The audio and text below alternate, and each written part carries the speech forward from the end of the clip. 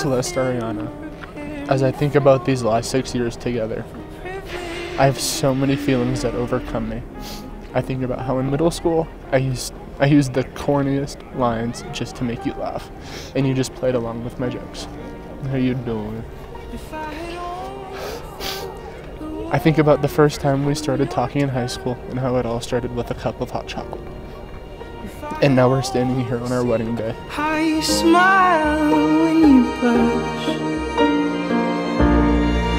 How you curl your lip when you concentrate enough.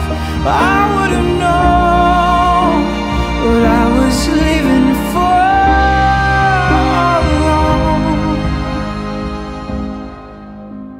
What I've been living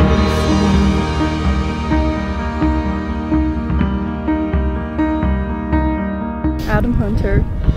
God has given the greatest blessing of finding my soulmate at the age of 15. I remember back to one of our first dates at our sophomore year homecoming bonfire. That night was filled with so much fun, pure joy, and love. I remember thinking to myself, if this is what life feels like with you, I want it to last forever. I vow to always make you know your worth and cherish your soul for what it is. I promise to put God first and always keep Him at the center of our marriage. I promise to confide in you and not hide from you. I promise that our marriage will be we and not me. I vow to trust and respect you as the leader of our marriage, and I vow to love you with my whole heart until my last breath. Adam, I love you inside and out for all that you are and all that you will be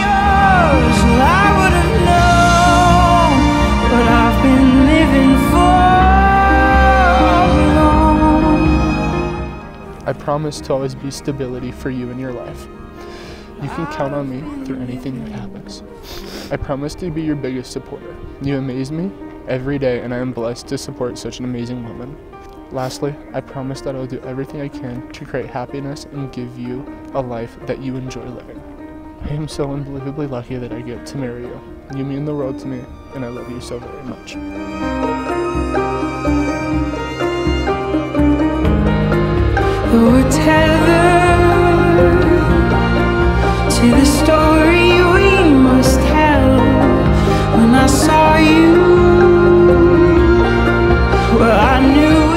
To have and to hold from this day forward, for better, for worse, for richer, for poorer, in sickness and in health, to love and to cherish until death do you part. I do.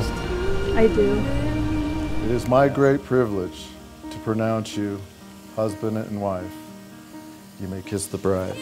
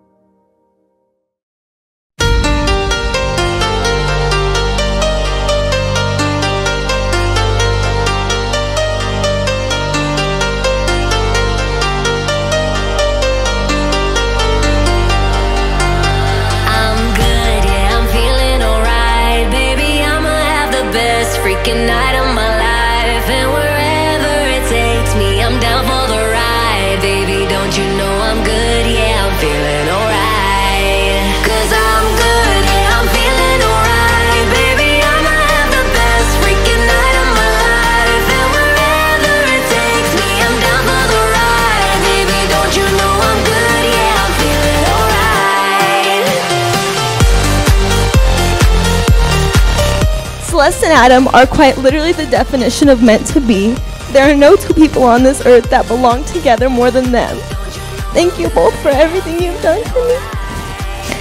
Adam, I hope you have as much fun growing old with her as I did growing up with her.